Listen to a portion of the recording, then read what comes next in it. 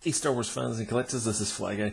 Um, looking at today a 5 POE figure. Now I don't normally collect 5 points of articulation Star Wars anymore when it's uh, uh, in this kind of line. Vintage collection, yes, but uh, not 5 POE fan really, but I did pick this up.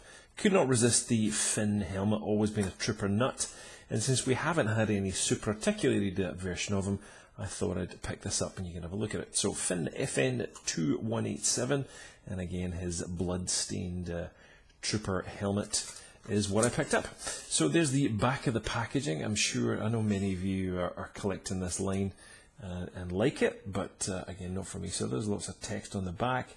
Uh, Captain Rex is out there looking not too bad at all, as is Unkar Plutt, aka Simon Pegg and uh, let's see if I can get this to focus. That would really work.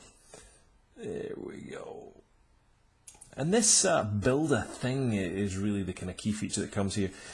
It, it's pretty bad that Hasbro can't really name this thing, uh, and I don't know why, but uh, I guess there's some kind of cost implication to uh, name the weapon as something, then you've got a trademark or something, but uh, yeah.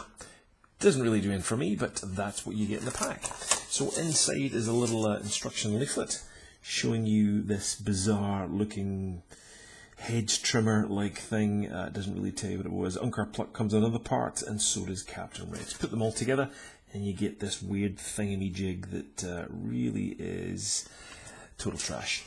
Uh, this is the uh, weapon you get inside. Actually, it doesn't look too bad, but uh, it just uh, the paint on it is uh, pretty nice. So they've applied two tones of paint on it. The design looks pretty good, but it's kind of useless, really. It doesn't really do anything for me. I'd love to know your thoughts on these. What do you think of these builder things? Since we don't have a name, it's not builder weapons, since we don't really know the name of the weapon, but reminds me of the gun from the Marvel Legends. Um, Rocket Raccoon and uh, Star Lord, I should say. So uh, yeah, there you go. That's what that is, and here's the figure. Now, again, not a fan of 5POE, but definitely good looking figure. It looks very slick indeed. In terms of the paint, in terms of the sculpt, they've uh, nailed this guy. Absolutely nailed him. So done a good job. I'm very impressed with it. Uh, the uh, hair looks good nice kind of uh, detail on the kind of mottling of the hair there and on the rib of the uh, collar.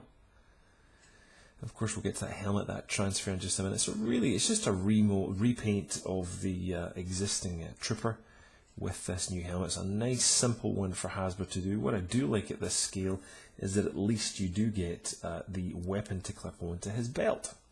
Something the SH Figuarts Captain Phasma did not do. A little bit disappointing at a $70 price mark.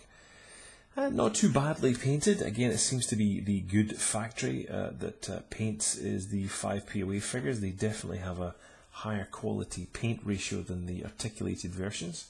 So again, there's really pretty no, pretty much no articulation going on here. As I mentioned, the uh, blaster does peg on to the uh, the leg using that little clip. Let me just take that out of your hands. And I'm sure if you weren't aware already, that just clips in there. If I can get it to clip in. Where are we? Am I doing this right? Where, what am I doing here? Can't see. It's late at night here, by the way. There we go. It's a clip in. So pretty good, not too bad. This helmet uh, is, uh, again, removable, but nicely done transfer on it. Nice kind of blood-stained marks. And it seems pretty consistent. All the ones that I've seen in stores seem to be quite uh, bloody and consistent, no real bad. As I said, it's a transfer, it's not paint, so it's done very nicely. Expect this in 6 inch. It's a very, well, we've, had it in 6 inch. Uh, I wish to say it's just literally came out, so uh, uh, it's uh, unlike Hasbro not to um, get a chance to do a very simple paint job. Uh, why not when you can make some money?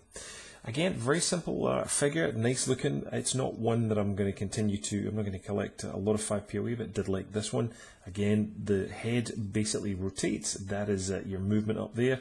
Arms rotate and legs rotate. Pardon, it's blaster. And that's it. That's your articulation.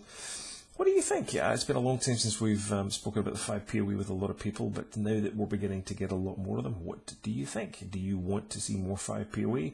Are you happy with them? Do you miss articulation? Leave a comment below. Love to have a discussion with you about it. Let us know what you think. If you're brand new to the channel, click subscribe and you'll get lots of uh, podcasts and other reviews and stuff into your mailbox. That's it for me. We'll see you for some other figure reviews coming up soon.